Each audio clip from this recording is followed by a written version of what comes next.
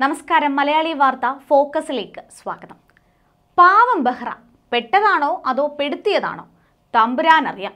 എന്തായാലും ബെഹ്റ മോൻസന്റെ മാളികയിൽ പോയെന്നുള്ളത് സത്യമാണേ?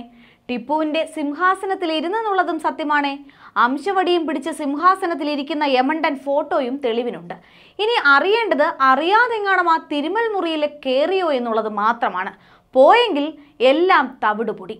കാണേണ്ടവർ എല്ലാം കണ്ടു കാണും ലോക്നാഥ് ബെഹ്റയെ മോൻസന്റെ കൊച്ചിയിലെ പുരാവസ്തു കേന്ദ്രത്തിൽ എത്തിച്ച് ടിപ്പു സുൽത്താന്റെ സിംഹാസനം എന്ന പേരുള്ള തട്ടിപ്പു കസേരയിൽ ഇരുത്തി ഫോട്ടോ തയ്യാറാക്കിയത്രേ. കഷ്ടം തന്നെ.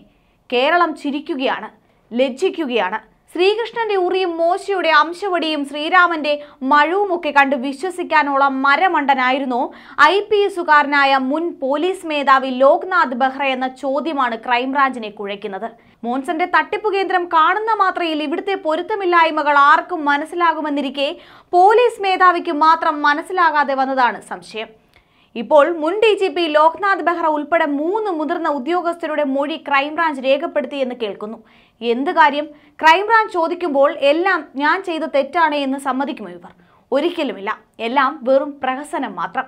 മോൻസൺ മാവുങ്കലിന്റെ മ്യൂസിയം സന്ദർശിക്കുകയും അവിടെ ബീറ്റ് ബോക്സ് വയ്ക്കുന്നതിന് ഉത്തരവിടുകയും ചെയ്ത Loknath Behra A D G P Manoj Abraham traffic I G G Lakshmana എന്നിവരുടെ മൊഴിയാണ് രേഖാമൂലം ആവശ്യപ്പെട്ട് ക്രൈംബ്രാഞ്ച് മേധാവി എസ് ശ്രീജിത്ത് രേഖപ്പെടുത്തിയിരിക്കുന്നത്.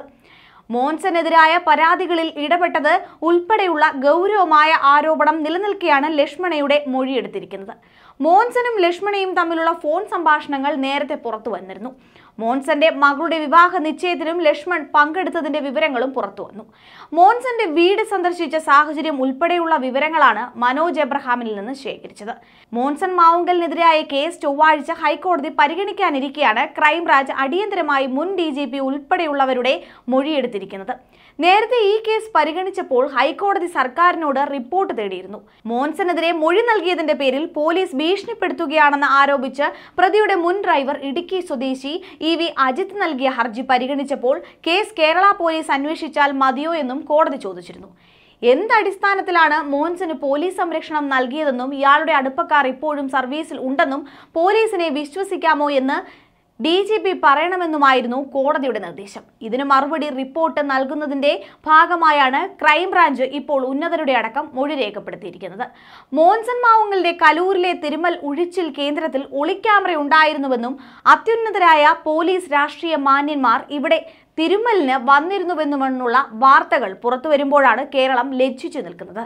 മോൻസന്റെ വീട്ടിൽ അനാശാസ്യ കേന്ദ്രമുണ്ടായിരുന്നുവെന്നതുമായി ബന്ധപ്പെട്ട അന്വേഷണം പോലീസ് വിശദമായ അന്വേഷണം നടത്താൻ താൽപ്പര്യപ്പെടാത്തതും ഇതേ കാരണത്താലാണ്. മോൻസന്റെ തിരുമു കേന്ദ്രത്തിൽ തിരുമിന്റെ മറവിൽ പെൺവാണിഭവും അനാശാസ്യവും നടന്നിരുന്നതായി മുൻപ് പുറത്തു വന്നിരുന്നു. ഇതിന് പിന്നാലെയാണ് മോൻസൺ പതിനേഴുകാരി വേലക്കാരിയെ പീഡിപ്പിച്ചതുമായി ബന്ധപ്പെട്ട പോക്സോ കേസിലും പ്രതിയായി മാറുന്നതും പെണ്ണു കേസുകൾ തുടർന്നു വരുന്നതും. അമ്പത്തിയെട്ടുകാരനായ മോൺസൺ മകളേക്കാൾ പ്രായം കുറഞ്ഞ പെൺകുട്ടിയെ കാലങ്ങളോളം പീഡിപ്പിച്ചിരുന്നുവെന്ന വിവരങ്ങളാണ് പുറത്തു വന്നതെന്നും അടുത്ത കേസിൽ പറയുന്നു. എന്തായാലും ഇനി അന്വേഷണം പുരോഗമിക്കുന്നത് ബെഹ്റയിലേക്കും മറ്റ് പോലീസ് ഉദ്യോഗസ്ഥരിലേക്കുമാണ്. ഇനി കേരളത്തിലേക്ക് ഉടനെങ്ങും മടങ്ങി വരരുതെന്ന് സംഗതി ആകെ ചീറ്റി നിൽക്കുകയാണെന്നും സർക്കാർ ലോക്നാഥ് ബെഹ്റയെ അറിയിച്ചിരിക്കണം. കൊച്ചി മെട്രോയുടെ എം ഡി സ്ഥാനത്ത് ലക്ഷം രൂപ ശമ്പളത്തിൽ പിണറായി വിജയൻ ബെഹ്റയെ ഇരുത്തി വാഴ്ത്തിയതിനു പിന്നാലെയാണ് മുൻ പോലീസ് മേധാവി സ്വന്തം നാട്ടിലേക്ക് മടങ്ങിപ്പോയത്. കൊച്ചിയിലെ ട്രെയിൻ സർവീസ് കുളമായാലും വേണ്ടില്ല. ലോക്നാഥ് ബെഹ്റ കേരളത്തിലേക്ക് മടങ്ങി വന്ന സംസ്ഥാനം കുളമാക്കരുത് എന്ന് മാത്രമേ പിണറായി വിജയനും ഇടത് സർക്കാരിനുമുള്ളൂ. അനന്താപുല്ലയിൽ കേരളത്തിലെത്തി മോൻസനെതിരെ മൊഴി നൽകുന്ന സാഹചര്യവും സർക്കാരിന് ആശങ്കയിലാഴ്ത്തുന്നുണ്ട്. അതിനാൽ അനിതയെ ഓൺലൈനിൽ ചോദ്യം ചെയ്താൽ മതിയെന്നും ആവശ്യമില്ലാത്ത ചോദ്യങ്ങളൊന്നും വേണ്ടെന്നും സർക്കാർ പോലീസിന് നിർദ്ദേശവും നൽകിയിട്ടുണ്ട്. അനിതയും ലോക്നാഥ് ബെഹ്റയും തമ്മിൽ വലിയ സൗഹൃദമുണ്ടായിരുന്നുവെന്നും ഈ സ്വാധീനത്തിൽ അനിത സംസ്ഥാന പോലീസ് ആസ്ഥാനത്ത് വലിയ സ്വാധീനമുണ്ടാക്കിയെന്നും വ്യക്തമാണ്.